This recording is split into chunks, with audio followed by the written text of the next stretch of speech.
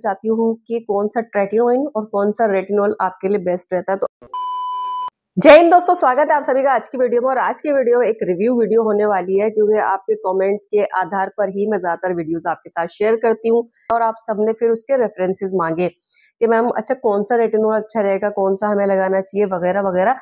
तो आज मैं थोड़ा सा इसके बारे में बात करना चाहती हूँ कि कौन सा ट्रेटिनोइन और कौन सा रेटिनोल आपके लिए बेस्ट रहता है। तो आज जो मैं रिव्यू आपको देने वाली हूँ, वो है फोक्स टेल का रेटिनोल नाइट सीरम वाइटैलिटी तो इन्होंने वाइटैलिटी भी बड़े वाइटैलिटी के साथ लिखा है। रीजन ये है कि वाइट एलिटी लिखा है वाइटैलिटी को।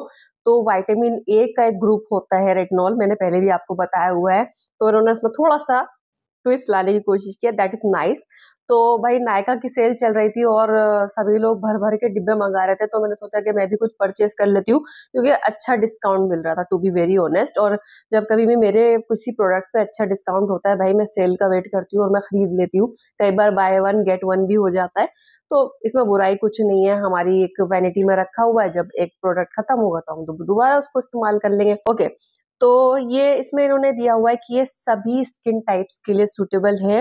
इसमें है zero point fifteen percent retinol betaine and kokum butter okay guys एक चीज़ का ध्यान रखिएगा, जब भी हम ट्रेटिनोइन क्रीम की बात करते हैं, ये फार्मेसी क्रीम है, और इसको हम थोड़ा सा फार्मेसी में नहीं लेंगे बट हम इसको कॉस्मेटिक प्रोडक्ट में ज़्यादा में काउंट करूँ। रीजन ये है कि जो फार्मेसी की ट्रेटनोइन क्रीम होती है, इसको डर्माटोलॉजिस्ट अपनी प्रिस्क्रिप्शन पे लिख के देते हैं, तभी आप यूज़ कर सकते हैं, क्योंकि बहुत सारे डायग्नोसिस के बाद ही डॉक्टर इस नतीजे पर पहुँचते हैं कि आपको ये यूज़ करनी चाहिए और इसके डोज एंड डोन्स बहुत सारे होते हैं गाइस बहुत सारे होते हैं। मैंने इसकी डिटेल वीडियो शेयर भी की थी और आप सबने बहुत अप्रिशिएट किया। थैंक यू सो मच तो इस प्रोडक्ट के बारे में मैं आपको बता दूँ कि क्या क्या इसकी खासियत है सबसे पहले तो इसमें कोई एडिड फ्रेग्रेंस नहीं है वीगन है क्रुअल्टी फ्री है पैराबिन फ्री है sulphate free and dermatologically tested है। ये अच्छी बात होती है, अगर ऐसा कुछ लिखा हुआ है तो हमें थोड़ा सब्र आ जाता है कि ठीक है भाई डर्माटोलॉजिकली टेस्टेड है तो हम यूज़ कर सकते हैं कि साइड इफेक्ट्स के चांसेस बहुत कम हो जाते हैं बट रेटिनॉल को हल्के में मत लीजिएगा कभी भी, क्योंकि आप सोचिए कि ठीक है कॉस्मेटिक प्रोडक्ट है तो भाई ये सारा मैं निकाल के पूरे भर भर के लगाऊँ। जी नहीं, इसका भी सेम फॉर्मूला वही रहता है।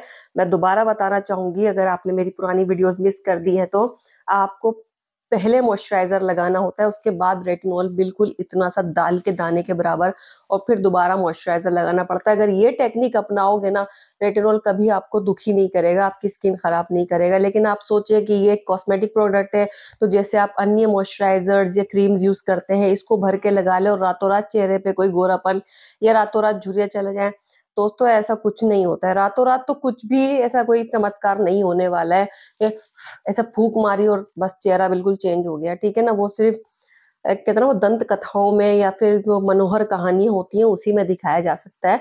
बट अगर हम स्किन केयर की बात करें या हम कॉस्मेटोलॉजी की बात करें, सब्र की ज़रूरत होती है उसके लिए। ठीक है? तो अच्छा प्रोडक्ट है तो मैंने मंगाया था। मैं इसकी पहले पैकेजिंग की बात करूँगी। यहाँ पे एक स्टॉपर दिया गया है जो मुझे बहुत अच्छा लगा। रीजन ये है कि अगर आप कहीं भी ट्रैवल वगैरह कर रहे हैं और आपको लगता है कि हमारा जो प्रोडक्ट है वो दबने से बाहर निकल जाएगा तो वो डर नहीं रहता इससे स्टॉपर से which is a good thing but मुझे सबसे ज़्यादा हँसी इस बात पे आई थी कि जब मैंने इस प्रोडक्ट को यूज़ करने के लिए निकाला, मुझे इसको मैं पंप किए जा रही थी इस तरीके से, क्योंकि इसको शेक करके, इस तरीके से आप अच्छे से, और फिर पंप करना तो मैं इसको पंप किया रही थी आप यकीन नहीं मानेंगे, पंद्रह बीस के बाद ना मैंने फिर इसको गिनना शुरू कर दिया था। तो मैंने कम से कम इसको सौ बार पंप किया है, तब जाके वो प्रोडक्ट बाहर आया था। तो अभी तो आई थिंक इजीली आ जाएगा। यस ठीक है गाइज़ तो इस तरीके से कुछ प्रोडक्ट होता है तो ये भी मैंने थोड़ा ज़्यादा निकाला है, अगर देखा जाए तो। क्योंकि एप्लीकेशन अगर आपको इसकी करनी है ना, मैं एक बार दोबारा बताती हूँ आपको किस तरीके से निकालना होता है। भी मैं इसको वाइप आउट कर रही हूँ तो आप ध्यान दीजिएगा, बहुत हल्के से ऐसे आप, जब आप शुरुआत कर रहे हैं रेटिनॉल यूज़ करने की, देखिए, इतना प्रोडक्ट आपको निकालना होता है। अब आपने चेहरे पे अच्छे से मॉइस्चराइजर लगा लिया तो आपको क्या करना होता है, इसी पे से आपको थोड़े थोड़े डॉट लेके पूरे चेहरे पे इवन गर्दन पे भी, क्योंकि ये पार्ट हमारा बहुत जल्दी झुर्री आती है इस पे तो ये सारी चीज़ें आप कर सकते हैं। बट पहले मॉइस्चराइजर अप्लाई कीजिएगा और बड़े अच्छे तरीके से आपको अप्लाई करना है। और मैं नहीं कहूँगी कि आप थोड़ा लोकल क्वालिटी इन पर प्लीज़ मत जाइएगा। थोड़े पैसे ऑफ़ कोर्स ज़रूर खर्च होंगे। आपको लगता होगा कि हमेशा खर्चा ही करवाने आ जाती है।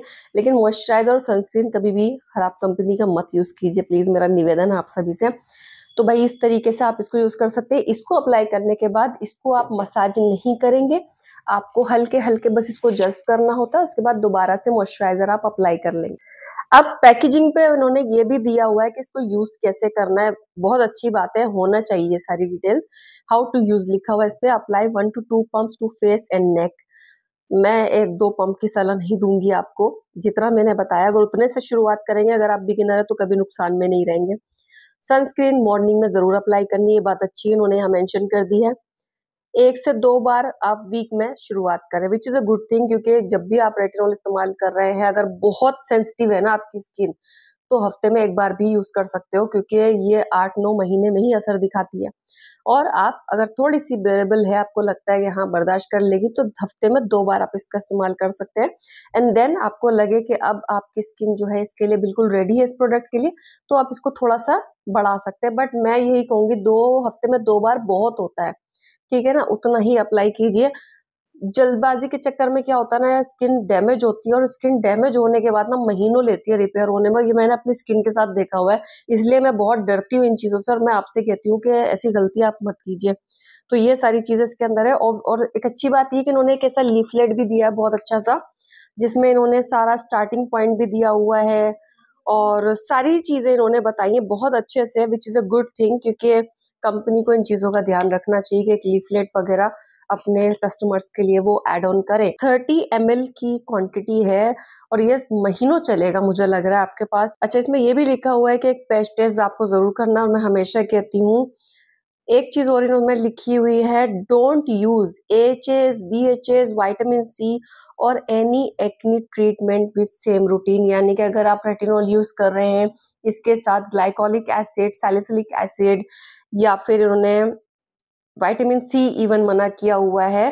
ठीक है ना? मतलब बहुत सारी चीज़ें मना कर देते हैं क्योंकि ये अकेला प्रोडक्ट बहुत ज़्यादा, मैंने बताया ना डर्माटोलॉजिस्ट इसको लिख के देते हैं बट ऑब्वियसली अगर सभी कंपनीज़ रेटिनॉल बनाना स्टार्ट कर रही हैं तो फिर भी आपको बहुत ज़्यादा ज़रूरत पड़ती है। तो प्राइस के बारे में मैं बात कर रही थी गाइस के प्राइस है फाइव नाइन नाइन यानी ऑलमोस्ट छह सौ रुपए का ये आपको पड़ जाएगा। बट मैंने ये जो सेल में से लिया था तो मुझे आई थिंक पाँच सौ चौबीस या इतने का आई थिंक ये मुझे पड़ा था। और ये क्योंकि महीनों चलेगा तो छह सौ रुपये मुझे कोई बुरे नहीं लग रहे पे करते हुए तो ये पूरा रिव्यू था। अब मैं बात करना चाहूँगी कि जब मैंने इसको अप्लाई किया तो मुझे मेरी स्किन पर कैसा लगा? गाइज़ अफकोर्स जो मैं आपको बताती हूँ सेम वैसे ही प्रोसीजर मैंने किया था। मैंने पहले मॉइस्चराइजर लगाया, पहले फेस वॉश किया, रात में मैंने मॉइस्चराइजर अच्छी क्वांटिटी में अप्लाई किया। मैंने सीटाफिल मॉइस्चराइजर अप्लाई किया था इनकेस अगर आप इंटरेस्टेड हो जानने में, क्योंकि सर्दियाँ और मेरी स्किन बहुत ज़्यादा ड्राई है।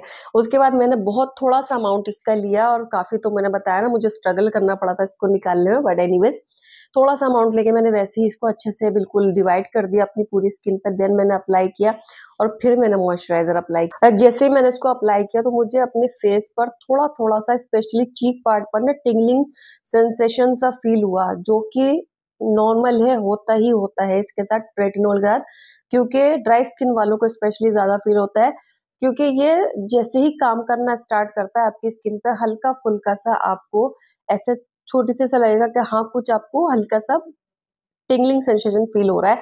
लेकिन इसका मतलब ये नहीं है कि आपकी स्किन डैमेज हुई है। अगर ये आपको लगे कि यही जो हल्का फुल्का सा असर है, ये बहुत ज़्यादा बर्निंग फील हो रही है आपको तो तो भाई बिल्कुल भी नहीं। और जैसे कि मैंने कहा, पेस्ट टेस्ट कर लिया करो। अगर पेस्ट टेस्ट कर लेंगे तो किसी भी तरह की परेशानी से आप बच सकते हैं। तो वो चीज़ आपको करनी चाहिए। तो मुझे मालूम था कि ये दो तीन मिनट ही होगा, उसके बाद नॉर्मल हो जाएगा और दो तीन मिनट बाद मेरी स्किन नॉर्मल हो गई थी। उसके बाद मुझे कुछ फील नहीं हुआ। तो आप लोग भी जब अप्लाई करेंगे हल्का फुल्का सा आपको फील हो सकता है ऐसे चेहरे पे। बी वेरी केयरफुल अगर बहुत ज़्यादा तेज़ी से आपको फील हो रहा है कि बर्निंग हो रही है, चेहरा लाल हो गया आपका, छोड़ दीजिएगा, इसको मत अप्लाई कीजिएगा। मैं यही आपको सलाह दूँगी, क्योंकि स्किन खराब करने से बेहतर है, हम उस प्रोडक्ट को नहीं यूज़ करें, फिर रख दे उठा के ठीक है? क्योंकि जैसे कि मैंने कहा, सबकी त्वचा, सबकी स्किन बिल्कुल अलग होती है। एक बात और, अगर आपको लगता है कि आपकी स्किन पूरी रात इसको नहीं अप्लाई करना चाहती है या फिर आपको इस तरह कुछ लग रहा है तो आप इसको सिर्फ़ स्किन पर एक या दो घंटे अप्लाई करके भी फेस वॉश कर सकते हैं। तो मैंने फेस वॉश नहीं किया था, मैं फिर मॉर्निंग में ही मैंने फेस वॉश किया।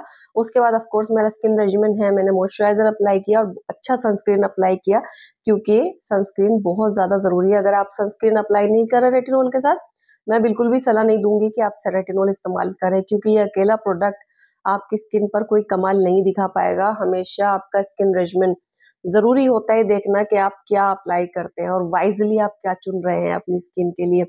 तो ये सब चीज़ों का ध्यान रखना बहुत ज़्यादा ज़रूरी होता है। दोस्तों, ये था मेरा रिव्यू फॉक्स टेल के बारे में। ये कोई भी पेड प्रमोशन नहीं है।